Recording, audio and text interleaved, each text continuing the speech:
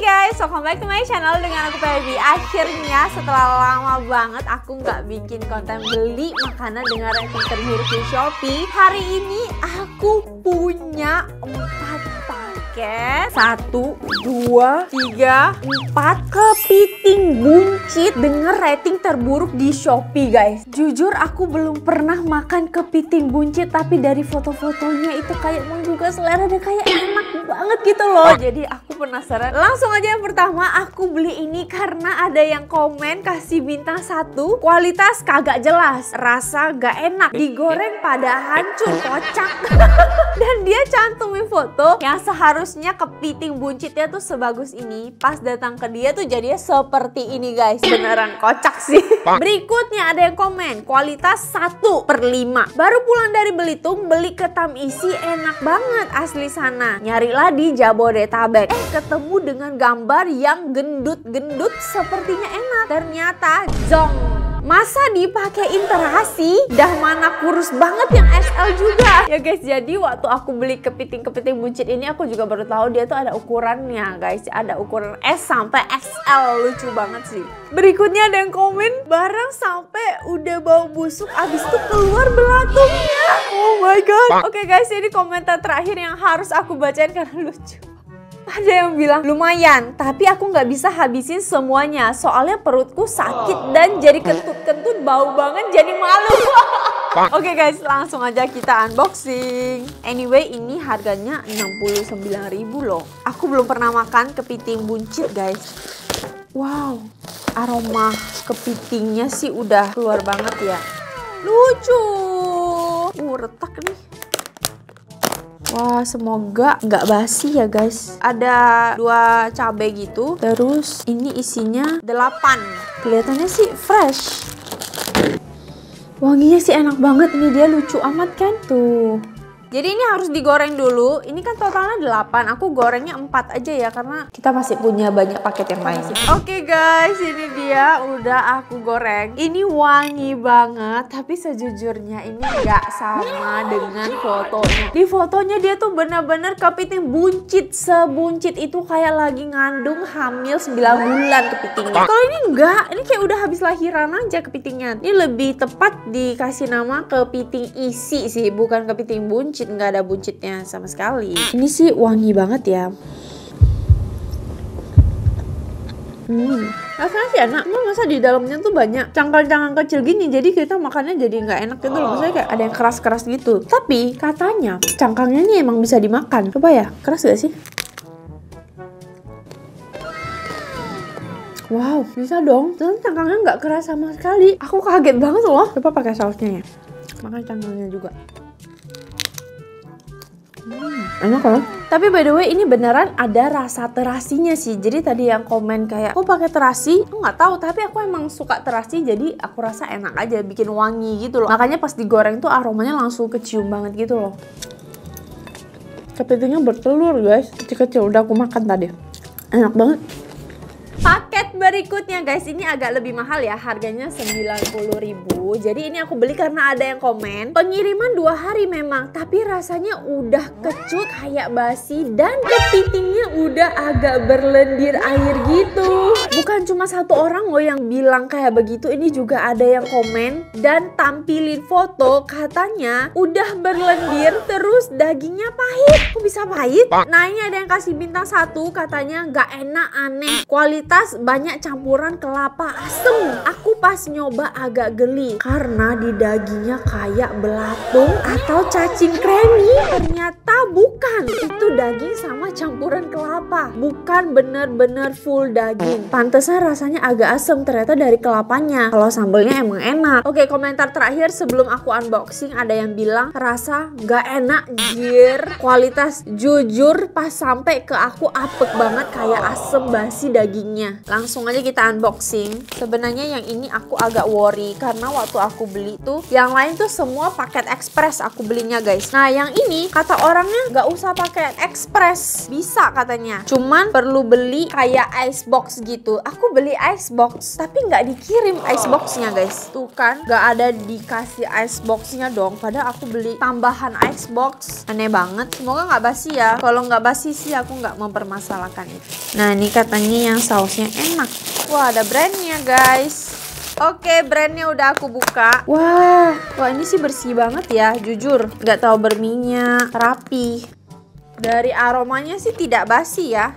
Isinya 1, 2, 5. 5 doang, 90 ribu. Nah, yang ini baru. Dia buncit kan. Tuh, dia agak buncit gitu. Kayak bunting gitu lah. Kepiting bunting ini. Walaupun ini nggak bunting-bunting amat lah ya. Ini kayak hamil-hamil 7 bulan gitu. Belum 9 bulan. Oke, kita goreng dulu ya. Ini dia guys. Sudah mateng. Aku cuma goreng dua doang. Karena isinya 5 kebanyakan. Ini isinya agak beda sih. Dari yang pertama tuh beda banget kelihatannya. Wah, ini dia dia kayak soft banget gitu loh isinya oh Oh ngerti, aku ngerti. Aku juga kaget sih pas pertama kali ngebelah ini. Pantesan ada yang bilang kayak cacing kremi gitu. Ternyata ini kayak kelapa nggak sih? Kayak serat-serat kelapa. Emang bikin shock sih. Aku tadi, apakah ini latung gitu aku kira. Apakah ini cacing gitu. Hmm, jujur rasanya hampir mirip. Hmm, kalau sambelnya Hmm, sambelnya ini enak banget kayak sambal terasi. Pedes banget tapi. Ini coba ya. Bisa dimakan nggak cangkangnya ini? Wow, happy banget. Lebih enak ini sih kayaknya. Isi dagingnya lebih tebal daripada yang sebelumnya. Jadi pas dimakan tuh rasanya kayak lebih puas gitu loh. Lihat guys, ada telurnya guys. Ini aku sengaja beli yang kepiting bertelur. Dia ada yang kepiting tidak bertelur juga. Hmm, yang ini sih bintang 5 sih dari aku. Langsung aku habisin satu. Hmm. Oke okay guys, paket berikutnya ini paket yang paling mahal guys. Harganya 150.000. Nanti kita lihat ya bedanya apa sih. Dan ini aku beli karena ada yang komen. Bintang satu, rasa sudah basi saat sampai. Kualitas sangat tidak layak. Dus luarnya sudah berminyak dan mengeluarkan bau busuk. Packingan plastik yang di dalam sudah tidak berbentuk. Kepiting di dalamnya sudah berantakan dan mengeluarkan bau busuk yang menyengat ditambah pelayanan yang sangat tidak responsif. Sayang sekali padahal saya excited mencoba kepiting buncit ini sampai beli dua pack untuk pertama kali dan dia cantumin foto juga. Emang sih hancur banget dari boxnya hancur, toplesnya hancur, kepitingnya juga udah hancur banget. Kasian banget yang beli. Berikutnya ini ada yang komen agak amis dan saya agak gatal-gatal sedikit. Wow. Oke, komentar terakhir ini ada yang bilang harganya mahal tapi rasanya aneh. Ya, ini emang paling mahal ya. Asin banget banget terus agak bau. Jadi dibuang semuanya deh kasih kucing. Gak akan pesan lagi sorry. Ini aku mau disclaimer ya. Ini aku kebeli dua kali paketnya. Jadi 150 ribu, 150 ribu. Aku salah tekan guys. Jadi kalau ini zong, wow udah paling mahal. Aku kebeli double zong lagi. Semoga enggak ya. Wow 150 ribu tapi nggak dikasih box dong. Wow, banyak sekali cabenya yang dikasih. Ini kepitingnya juga banyak banget guys. Wow, ini sumpah cute banget. Ini sih gak tega banget. Dan ini beneran sebuncit itu. Ini baru dia hamil 9 bulan gak sih guys? Ini dong baru hamil 9 bulan. Ini baru kepiting buncit. Yang bener-bener buncit. Yang pertama tadi tuh kepiting langsing. Gak ada buncit-buncitnya. Dia sangat mini guys. Kecil banget. Aku ambil yang pertama tadi ya. Nah yang pertama tadi emang ukurannya agak gede. Yang ini emang agak cute kecil banget kayak baru lahir tapi sudah mengandung guys. Kalau yang ini tipis banget tuh. Tipis banget kan. Gak hamil sama sekali yang ini tuh. Ini baru hamil 9 bulan. Oke kita langsung masak ya. Gak tega sih tapi sebenarnya. Ini dia guys. Aku cuma goreng dua ya. Tapi oh my god. Ini cute banget. Maaf ya aku makan kamu baby kecil. Ini rasanya beda banget dengan yang kedua tadi. Yang kedua tadi tuh rasanya hampir mirip. Ini beda banget ngebedainnya. Nah, yang ini juga kelihatan kayak kayak yang sebelumnya yang aku kira cacing kremi itu loh. Ternyata bukan. Nah, tapi yang ini tuh nggak terlalu banyak, nggak terlalu kelihatan banget. Ini ada suatu wangi yang nggak bisa jelasin ini wangi apa gitu loh. Dan ini dagingnya tuh lebih kenyal-kenyal dibanding yang sebelumnya. Ini ada sambelnya, aku cuma tuangin dikit soalnya sambelnya masih beku. Pakai sambal enak banget. Ini puas banget sih makan ini. Mau pakai lagi sambalnya enak banget sambalnya.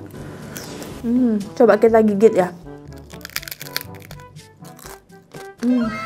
Jujur ini juga bintang 5 sih dari aku. Beneran enak banget guys. Mungkin aku beruntung dapetin yang fresh, yang gak basi. Ini pasti banyak yang komen. Ya karena mereka tahu yang beli itu aku Makanya dikasih yang fresh. No, aku belinya tuh selalu pakai anonim. Penjualnya nggak tahu nih dikirim ke siapa ya. Oke okay guys, paket yang terakhir ini harganya 88.000 Aku beli ini karena ada yang komen Bintang satu Maaf beneran kayak makan tahu campur telur. Cangkang garing sih tapi nggak buat dimakan. Pelayanan sudah bagus, fast respon, hanya kualitas dagangan yang tidak enak.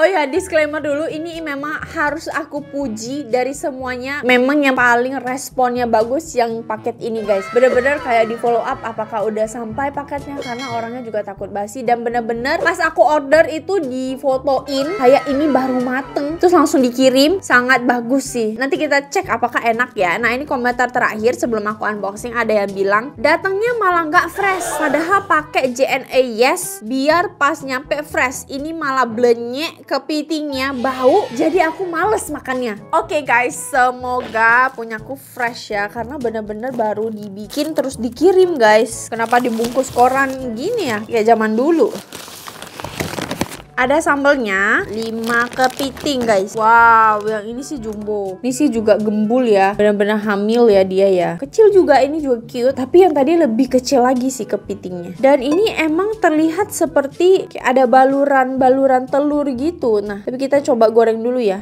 Oke okay, guys ini dia udah mateng. Tuh lucu amat. Bisa dibilang ini tuh yang paling buncit di antara semuanya. Tapi ini warna cangkangnya agak pucat gitu ya. Kayak kurang menggugah selera selera dari warna cangkangnya. Wah, gila sih ini.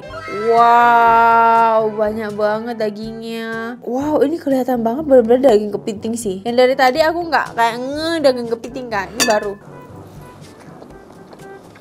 Yang pertama sama yang kedua rasanya mirip. Yang ketiga sama yang keempat ini rasanya juga mirip. Ini ada cabenya juga. Cobain ya. Hmm, wow, sausnya ini paling enak di aku ya. Pas banget gitu loh perpaduan daging sama sausnya pas. Kita coba gigit cangkangnya ya. Wow. Dari yang 1 sampai 4 semua cangkangnya lulus uji, semuanya bisa dimakan cangkangnya. Waduh ini cabenya lagi banget loh. Hmm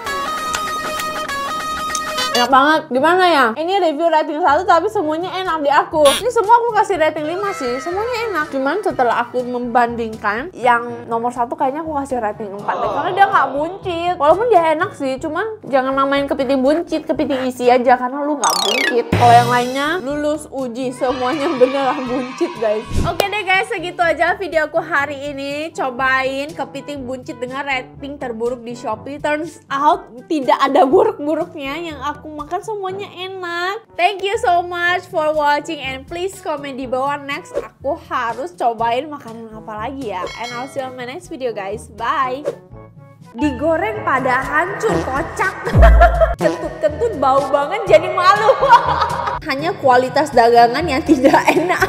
Yang pertama tadi tuh kepiting langsing, nggak ada buncit-buncitnya.